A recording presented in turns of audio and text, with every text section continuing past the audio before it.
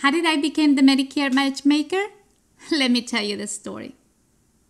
I worked for about 10 years in a call center, but my daughter Tabitha started giving me a lot of concerns in her education. So I had to leave that job and be at home for her. I was there for a couple of years when I realized I had to go back to the marketplace. It was a new beginning, and I found Medicare options. I quickly got hired by Humana Healthcare.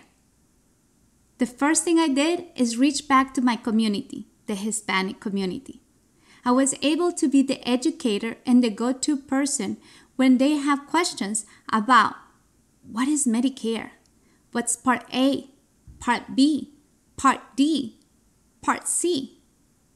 I worked there for about four years and realized that there was something called a broker.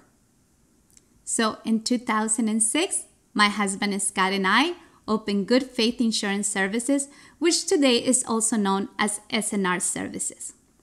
As a broker, you represent many companies out there and you get paid the same amount of money.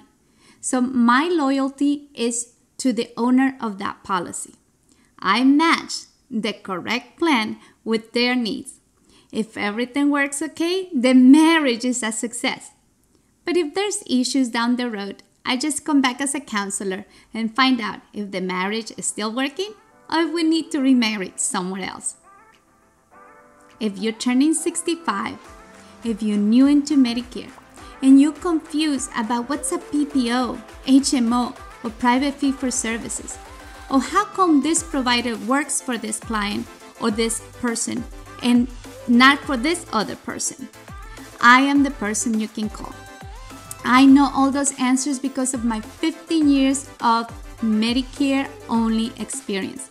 Combined with my 26 years of customer service, that's where my matchmaking begins. So if you're confused, if you need help with Medicare, don't worry, just call Rosie.